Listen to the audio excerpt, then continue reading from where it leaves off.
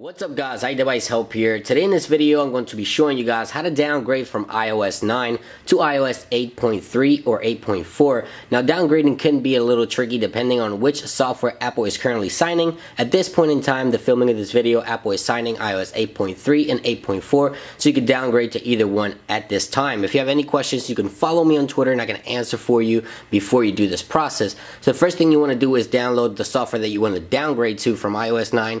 I have iOS 8.3 there sitting on my desktop. I'll have a link down below to, for you guys so you can download the iOS version that it's currently being signed for your device so you can go ahead and restore your device or downgrade your device rather. Now once you download the software that you want to downgrade to, make sure you save it to your desktop. It's the easiest place to find and then you want to connect your device using the USB port to your computer and launch iTunes.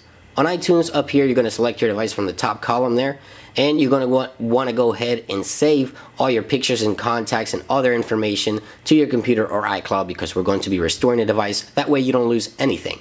So with that being said all you have to do is jump on over here where it says restore.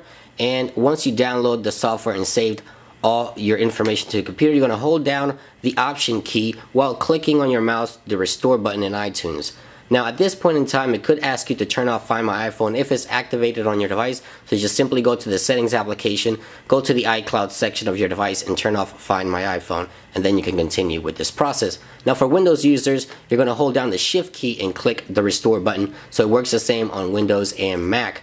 So once you do that, I'm gonna go ahead and browse here to my desktop. That's where I saved iOS 8.3. There it is, 8.3.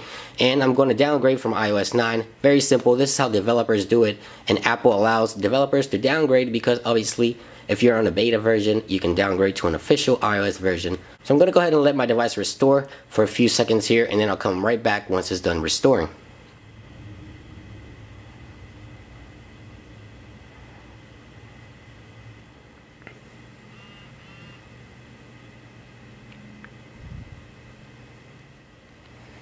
Alright, so after about 5 minutes or so, my device was completely downgraded from iOS 9. As you can see there, I have to go through the setup process. Let me go ahead and do this here quickly. Alright, so there you guys have it. That is how to downgrade from iOS 9 to iOS 8.3 or 8.4. Again, depending on which version of iOS Apple is currently signing. So let me go ahead and give you guys a quick close-up there. There it is, iOS 8.3. So if you have any questions on what version of iOS is currently being signed by the time you watch this video, you can always follow me on Facebook and Twitter. I can answer there or leave a comment down below. I hope you guys have found this video helpful. And in any way, don't forget to leave a thumbs up. It's been iDevice. I hope you guys enjoy the video and I'll catch you guys really soon. Peace.